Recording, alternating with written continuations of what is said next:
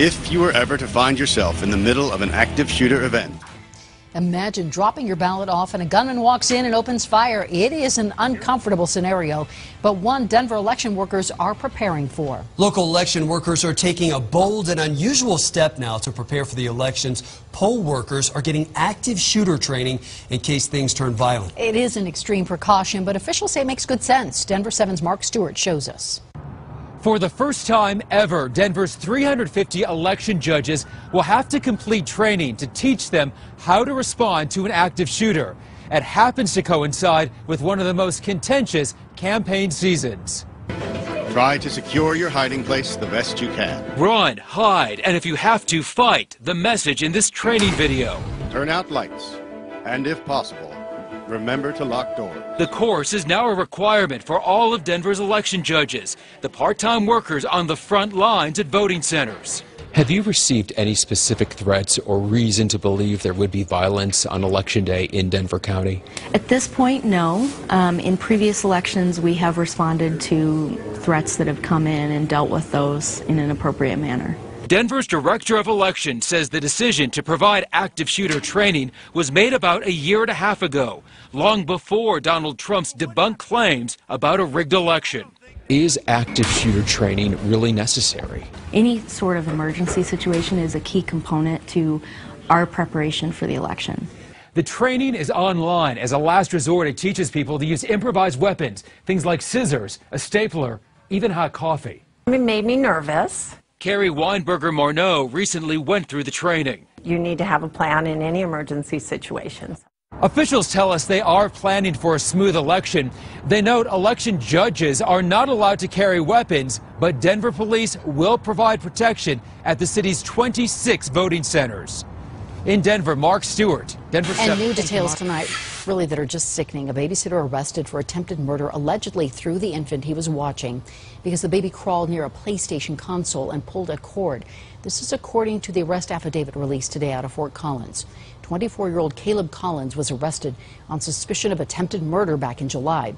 Police say the injuries the baby received are so severe the baby will likely never see, hear, or have purposeful. And new tonight, reaction from the husband of the legacy bus driver killed in a crash at DIA. He's seen the new surveillance video and looked at the final report about what happened. Denver 7's Jennifer Kovaleski joins us now live. Jen? And the big question, why did this happen? DPD says they found no definitive cause, but some closure for the Chopper family. It's very hard watching that video. In less than four seconds, Carrie Chopper lost her life. Three legacy coaches were critically injured, and an entire community was left in shock. Seeing that she went around the corner and then went into the pillar is it was horrible for me to see. I, I I wish I didn't see it. Chopper's husband told us by phone he wished he didn't have that memory of his wife.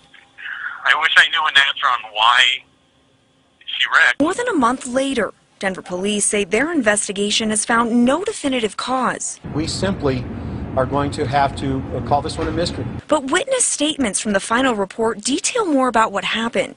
I almost got run off the road by this bus. Uber driver George Skinner says he saw the bus weaving over two or three lanes prior to impact. That's his pickup in front of the bus. Horrific scene. Kids were kicking the windows out trying to get out. Um, you could see that there was damaged faces and and people screaming. Police say they found no drugs or alcohol in her system, no medical issues, and nothing wrong with the bus. My wife just she had an accident. Me and my kids want to be able to move forward and live our life. Now, here's something else interesting that we learned today. The bus was headed towards the East Terminal arrival garage when this crash happened. Well, turns out that area has a 9 feet 6 inches clearance, and police told us that the bus today was just that the bus was about 10 or 11 feet high, so it wouldn't have fit. But it's not clear what role that played in the crash. I'm Jennifer Kovaleski for Denver 7. Well, the drive to push Daesh out of Iraq is also gaining force. US backed soldiers have begun shelling Daesh positions on the outskirts of Mosul. Thousands of troops are massing outside the city in preparation for a battle that could spell the end of the terror group in Iraq. Daesh members have been burning tires and oil to block the view of planes. Mosul has been under Daesh control since 2014. Let's take a closer look at the military offensive. Around 60,000 Iraqi government troops and US backed militias are said to be taking part.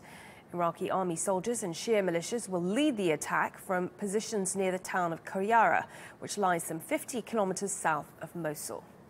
Kurdish Peshmerga forces will block Daesh terrorists from using escape routes and scan people fleeing the city. Turkish trained fighters based at the Bashika camp will also be taking part. Despite objections from the Iraqi government, Turkey has been training fighters from Mosul and Kurdish Peshmerga units at Bashika in northern Iraq. Adding to these soldiers are US, French, and British special forces who will play advisory roles and coordinate coalition airstrikes against Daesh targets.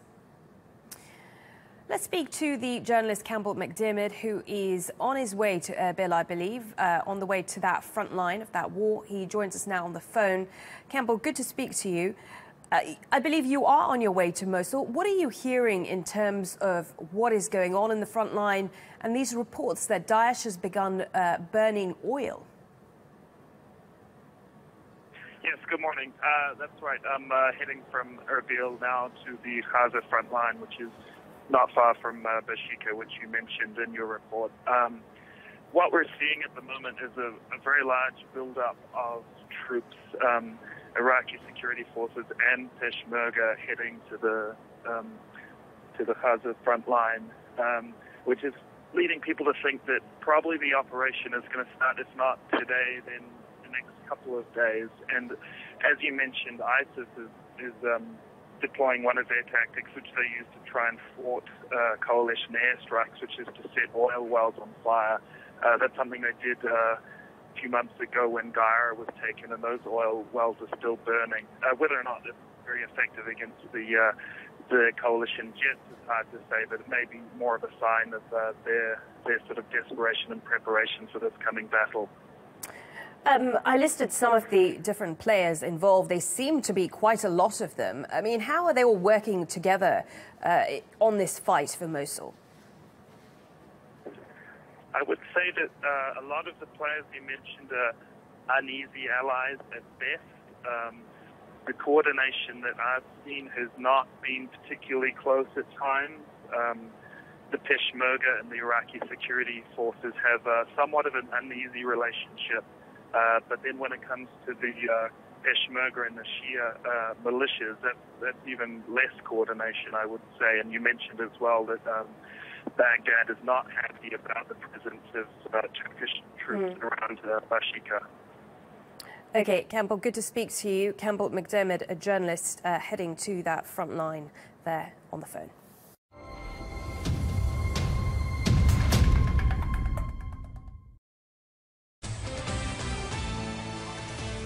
Good morning. Shots fired at a Shawnee QuikTrip overnight. This happened near 75th and Switzer. As 41 Action News reporter Sarah Plake found out, this all started when the officers tried to arrest a man on a felony warrant. So, Sarah, is he in custody right now?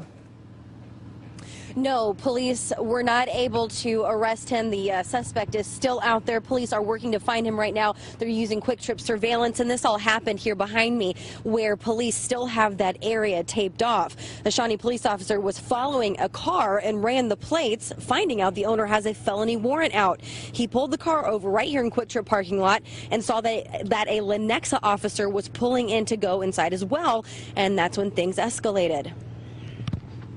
The Shawnee officer flagged the Lenexa officer over, said, hey, can you help me contact this guy uh, involving the warrant?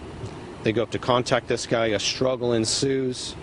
Um, the Lenexa officer falls down as the person who had the warrant was starting to back the vehicle up. The Lenexa officer falls down and discharges his firearm. Right, so we're learning that the officer did mean to shoot. We don't know if the suspect is hit or not. The suspect is in a blue car, and we're hearing that he was last seen getting on I-35 north. The Lenexa officer who shot his gun is now on paid administrative leave. That's just normal protocol. And now Johnson County investigators are stepping in to finish that investigation. Like I said, taking pictures, looking at surveillance to see if we can track this guy down. In Shawnee, I'm Sarah Plake, 41 Action News.